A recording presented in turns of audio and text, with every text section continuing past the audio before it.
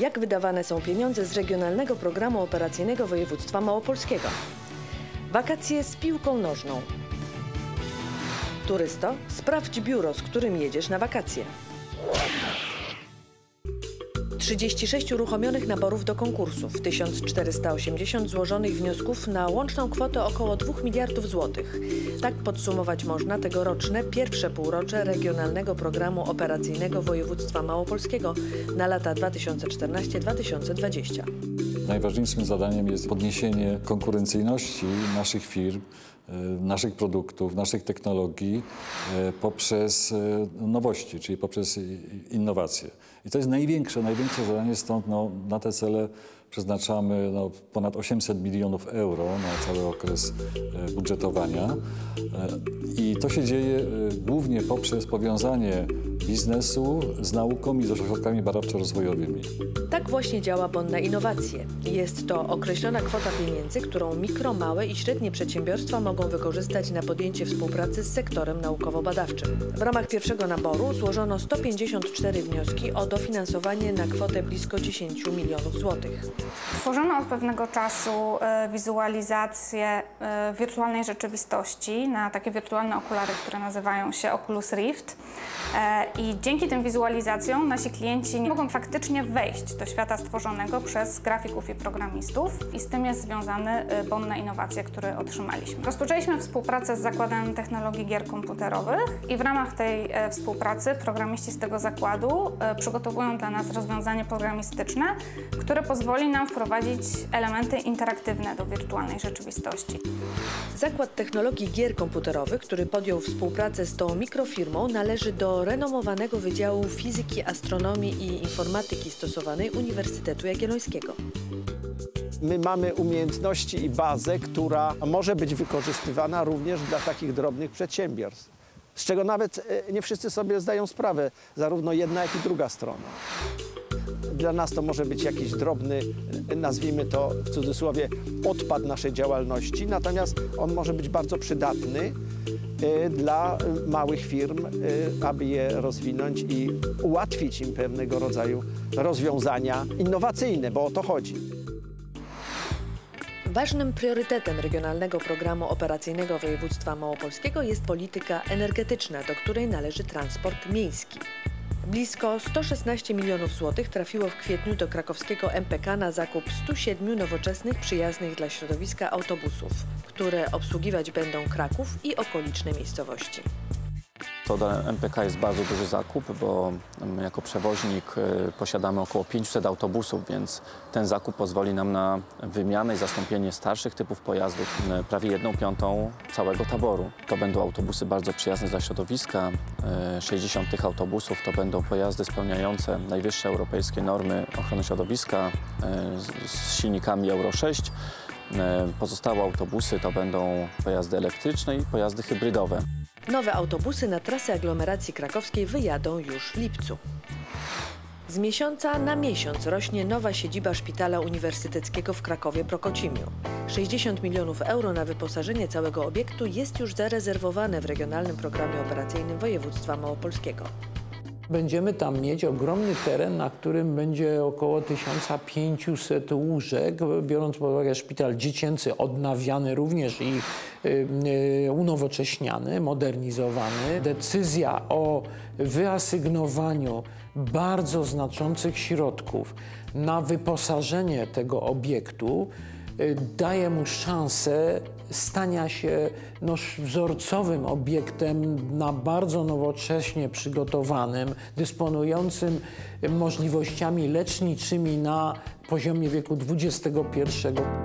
Nowy szpital ma być gotowy w 2019 roku.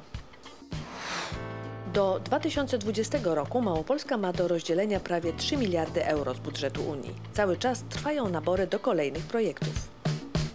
Tej chwili beneficjenci czy wnioskodawcy przygotowują projekty e, w kilku dziedzinach. Myślę, że bardzo istotną jest e, edukacja i tutaj e, oczekujemy na projekty przede wszystkim kształcenia zawodowego. Będziemy również mieli projekty z zakresu edukacji w szkołach podstawowych, nowe zajęcia, dodatkowe zajęcia dla szkół, doposażenie pracowni szkolnych, a nawet programy stypendialne dla uczniów. E, I coś, co jest bardzo wyczekiwane przez mieszkańców Małopolski, czyli programy wymiany pieców węglowych na nowoczesne piece w małopolskich domach. Wszelkie informacje dostępne są na stronie internetowej Funduszy Europejskich lub w punktach informacji o funduszach europejskich w całym regionie. Zostać w domu na wakacje i się nie nudzić? To możliwe. Jednym ze sposobów jest udział w turnieju Wakacje z piłką nożną. Idea dlatego jest wspaniała, że biorą to udział dzieci ze środowisk wiejskich. Dzieci, które nie każda rodzina może wysłać na wakacje, na obozy czy na jakieś wycieczki zagraniczne. Turniej przeprowadzany jest na poziomie gminnym, powiatowym, subregionalnym i wojewódzkim. Urząd Marszałkowski na organizację rozgrywek przeznacza 350 tysięcy złotych. Zadaniem województwa to jest upowszechnianie kultury fizycznej i sportu. I myślę, że mm, w tych dzieciach, które są y, powiedzmy 10-13-letnie i tak dalej, to jest ta pasja y, do tych różnych rozgrywek sportowych, ona jest widoczna i naprawdę oni aż y, lgną do tego, żeby, żeby móc grać, startować w wszelkich zawodach. Turniej rozgrywany jest od 2013 roku. Za każdym razem przybywa uczestników. W zeszłym roku w wakacyjną piłkę grało ponad 9 tysięcy dzieci w wieku od 10 do 13 lat.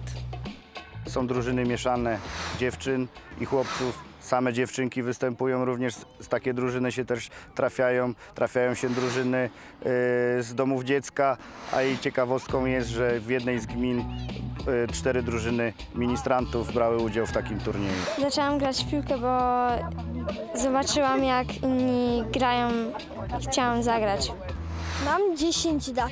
Lubię grać w piłkę, dlatego, bo mi się spodobało, kiedy byłem już bardzo mały. Mój idol to Messi. W tym turnieju jestem drugi raz i myślę, że mam największe szanse wygrać ten turniej, ponieważ nasza drużyna jest naprawdę dobra. Mecz finałowy wakacji z piłką nożną zaplanowany jest na 20 sierpnia. Zwycięzcy pojadą na siedmiodniowy turnus treningowy do Zawoi.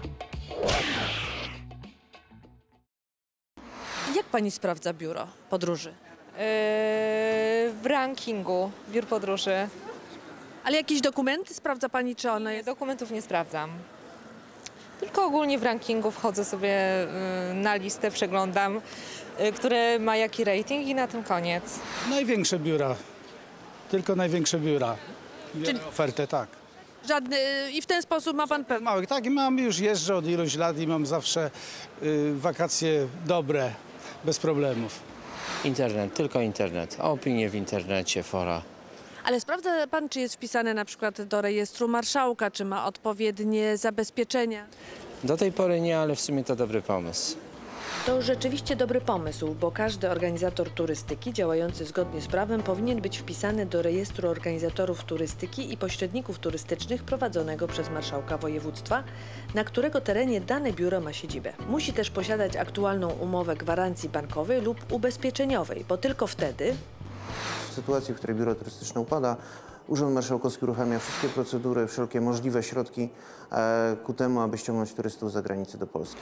Ale żeby tak było, biuro trzeba sprawdzić, biuro musi legalnie działać, musi być zarejestrowane e, i musi być wpisane do rejestru usług turystycznych. Próbując kupić e, w czasy wycieczkę, jakąkolwiek usługę turystyczną, należy przede wszystkim uważnie czytać i nie bać się pytać. Czytać umowę i pytać o szczegóły.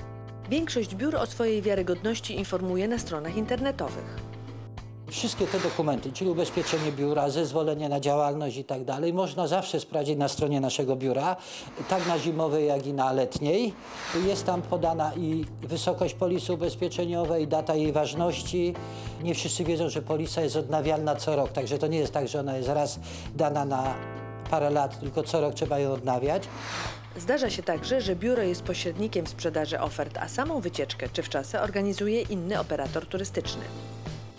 Wówczas wszystkie gwarancje i polisy e, są po stronie organizatora. I też jako pośrednik sprawdzamy, czy ten organizator jest w Centralnym Rejestrze Organizatorów i Pośredników, jak i też klient ma do tego prawo, może to sprawdzić, a my również zobowiązani jesteśmy do wysłania tejże polisy organizatora przy podpisywanej umowie. W razie wątpliwości można się skontaktować z Departamentem Turystyki i Sportu Urzędu Marszałkowskiego Województwa Małopolskiego.